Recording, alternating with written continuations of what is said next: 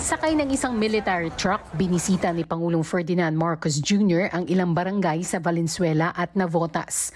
Lubog pa rin sa baha ang mga naturang lugar, isang araw matapos ang matinding pag-uulan, dulot ng habagat na pinatindi ng bagyong Karina. Unang binisita ng Pangulo ang Malanday National High School sa Valenzuela na nagsisilbi pa ring evacuation center para sa daandang apektadong residente. Dumiretso rin ang Pangulo sa evacuation center sa Barangay Tanza sa Navotas. Sabi ng Pangulo, kailangan ng bisitahin ang disenyo ng mga flood control project sa Metro Manila. Ayon sa MMDA, nasa 23,000 pamilya sa NCR ang inilikas dahil sa matinding pagbabaha nitong Miyerkules. The effect will greater than Indoy. Mas malaki ang baha. Mas maraming nabaha na lugar kaysa panahon ng Indoy. Mas marami tayong flood control ngayon kaysa noon. Pero climate change, this is what the, the effects of climate change are. Isinisi rin ng Pangulo ang dami ng mga basura sa pagbaha na nakaapekto rin umano sa kakayahan ng mga pumping stations. Sana matuto naman ng tao, huwag niya kayong, kayong nagtatapon ng basura dahil yung basura yun ang nagbara doon sa mga pump natin. Kaya hindi kasing effective na pwede. Lagi na mo kasi yung 80, 81. Uh, in Venezuela, I think they have 32. So marami na yung pumping station. Pero talaga, you have to put it somewhere. Ipinagutos din ng Pangulo ang engineering assessment para sa nasirang navigational gate sa Barangay Tanza sa Navotas na siyang tinuturong sanhi ng matinding pagbabaha sa ilang barangay sa Navotas at Malabon.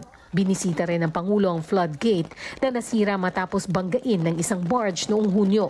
we have seen is that uh, one of the most important parts uh, that uh, nagka-problema was that navigation uh, uh, gate, that we went to na nasira because binangga ng isang barko basta hindi sumunod sa instruction. Sinira niya.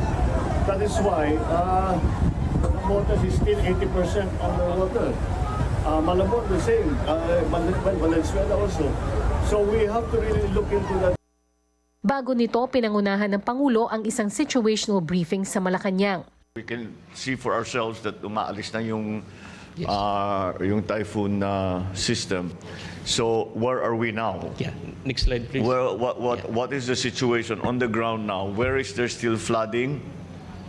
Where is there where are there still isolated communities? That is what we need to know because para gumalaw yung ah, lahat ng ating mga agency, we need to know where to go. Sa ngayon bukod sa Metro Manila, isinailalim na rin sa state of calamity ang probinsya ng Bataan, Batangas, Bulacan, Cavite at Oriental Mindoro, pati na ang bayan ng San Andres Romblon. Ayon sa DSWD, halos kalahating milyong family food pack ang patuloy na dinideploy sa mga apektadong rehiyon.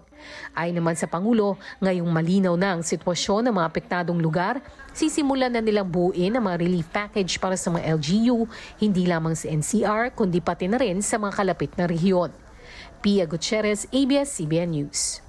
Tuloy-tuloy po ang ating pagpapatrol sa bayan mula lunes hanggang biyernes sa TV Patrol. Alas 6.30 ng gabi hanggang Sabado at Linggo sa TV Patrol Weekend. Sa bago nitong oras, alas 5.30 ng hapon.